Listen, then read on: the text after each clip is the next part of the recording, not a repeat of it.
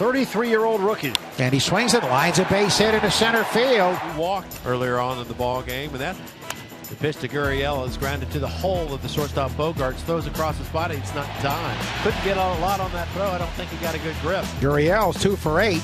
And he swings it, lines a base hit into center field. Two on, nobody out as Beltran, who can hardly move these days, stops at second. And here's another jam right away for Houston.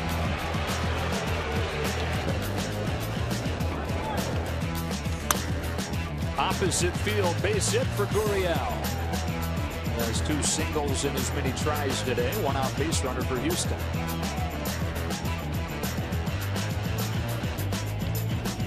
With one out, Yuli Gurriel pokes the first pitch that he sees into right for his third hit of the day. It's almost an identical swing to the one last time. Just getting the ball out over the plate and shooting it to right field. One about and go, you see a fastball out over the plate. He just sticks his bat out, goes to right field.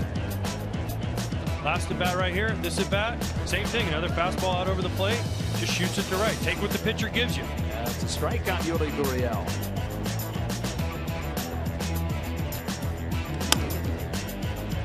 Backhand Bogaerts. Jump throw. Wide throw.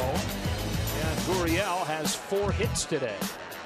Gurriel is a Cuban star. 15 years down there in the professional league.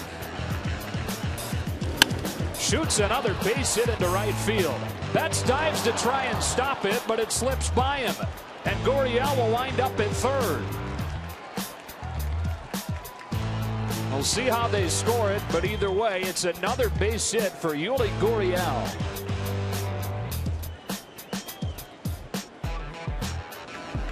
Well, at some point, the Red Sox are going to get tired of throwing him fastballs out over the plate. And Mookie Betts makes a great effort here trying to knock it down. But once it gets past him, it's an easy, an easy triple for Gurriel. But again, they're trying to go up. But two, how about sinking a ball in on some of these right-handed hitters and, and get them off that four-seamer away? Two balls, two strikes again to Gurriel. The stretch, and here comes the pitch. Swung on and driven to center field. Jackie Bradley on his horse back toward the track. Leaps. It's over his head and off the wall. Jackie grabs it on one hop, fires it into second base, and Gurriel is in with his second extra base hit today. Red Sox just can't get Gurriel out. Well, this guy's on fire right now. This ball was driven on a line. Thought Jack was able to go back and, and get it, but it was just hit so hard. And Gurriel is six for his last six, seven for his last eight in the postseason. He's eight for 14 overall in the postseason. Gurriel, nice one into right. Another base hit for him. Gurriel, home run shy of the cycle today after he had four hits yesterday. Backwards glance at second, a couple of them now. Now the pitch.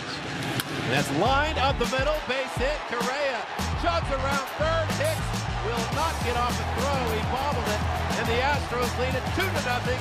Gurriel with an RBI. Yuli's had a great postseason with the bat thus far. Now 10 for 19, but that's his first RBI. One of his hits had come with nobody on. Chance here to drive in a run and able to come through. And really big, especially with two out. Here's the 2-2. And that's ripped into the left field corner base hit. Gardner will dig it out as Gurriel over to second base with a two-out double. He's got a hit in every Astros postseason game this year. Robertson hung a curveball, and Yuli's such a good breaking ball hitter anyway. And a poorly located one there from Robertson, and Yuli all over it.